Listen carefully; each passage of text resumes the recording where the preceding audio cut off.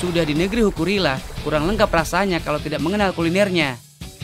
Sekarang, Beta bersama mama-mama mau bikin olahan kue berbahan sagu. Sagu memang menjadi makanan pokok bagi masyarakat timur, selain nasi, jagung, dan singkong. Bara ini mau bikin apa ini?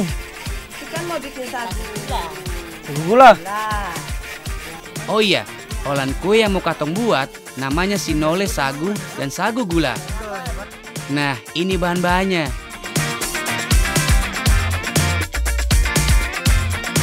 Ayo mama, kita mulai. Nah, beta nih ke bagian ayak sagu. Ayak-ayak sampai halus.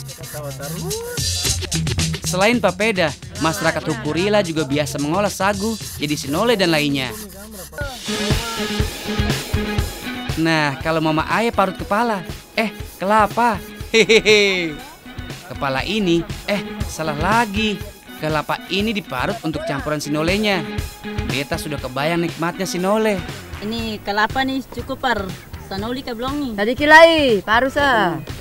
Nanti lah Iya, banyak, kelapa jangan biar sampai. lebih kan enak. Mama bikin berapa banyak itu sagu gula tuh? Gula. Saya panggal saja kan? Iya, secukupnya. Gula yang diiris Mama Ice akan jadi campuran juga di kedua olahan kue. Dicampur kelapa yang gurih dan ditambah gula aren yang manis, bikin beta seng sabar lah untuk cepat bikin kue ini jadi.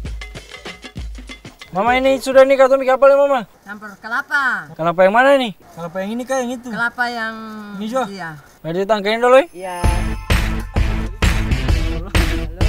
Kalau sudah selesai ayak sagu dan parut kelapa, tinggal katong campur semua sa. Aduk-aduk biar merata. Jangan lupa tambahkan gula. Sudah tuh mama ya. Kenapa tuh? Kelapa buat sanoli. Hah? Saya mau ke api dulu. Oh iya, mama ya lihat kan sana bapak jangan akan mati. Iya. Beta taruh sini sana dulu Edo, Ya mama. api sudah siap ini. Sudah tuh kah? Ya sudah. Kalau gitu mama Ici kita bawakan ke sana dulu ya. Di mama ya, perbakar. Tuh. Nah, semua sudah siap toh, tinggal masak saja. Mama Ice siapkan loyang untuk mencetak kue sagunya. Sebelum adonan dimasukkan, cetakan ini dipanaskan terlebih dahulu. Loyang berbentuk persegi ini mirip sekali dengan loyang kue rangi atau pukis.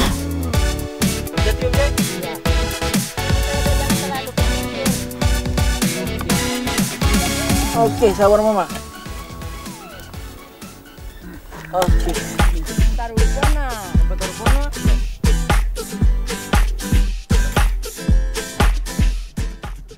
Isi sampai penuh, lalu ratakan. Buat lubang di tengahnya untuk isi irisan gula arennya dan tunggu sampai matang.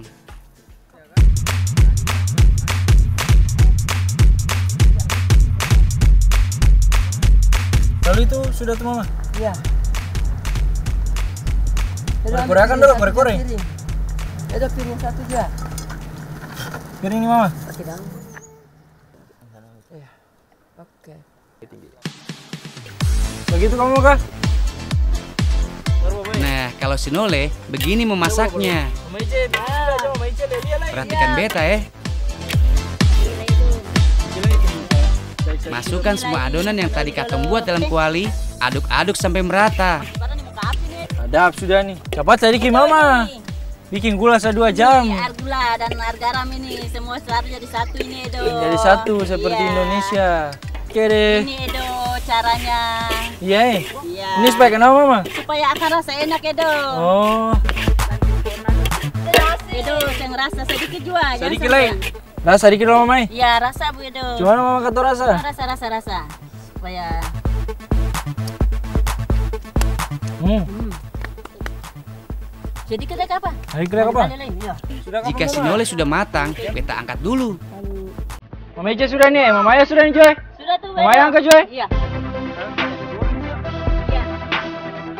Sagu, kalau di tangan mama-mama kece ini, bisa menjadi kudapan yang istimewa. Alam sudah memberikan banyak manfaat, tinggal katong yang olah dengan inovasi jadi kuliner yang nikmat.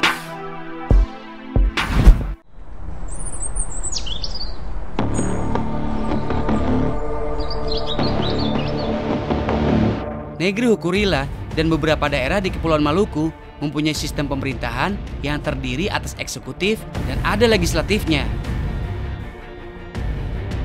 Bapak Raja sama halnya seperti kepala desa dan tetap bertanggung jawab kepada seorang wali kota. Kebetulan Beta datang saat acara pengangkatan Saniri negeri Hukurila yang baru.